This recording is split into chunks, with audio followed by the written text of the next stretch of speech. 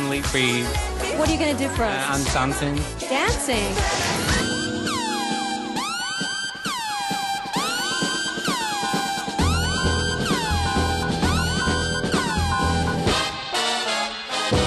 That was like drunk dancing. No. No. No. Ever since that girl came in, it was like I felt like there was something inside my head. That's why I need to get out of here. Oh god. So what, another bar?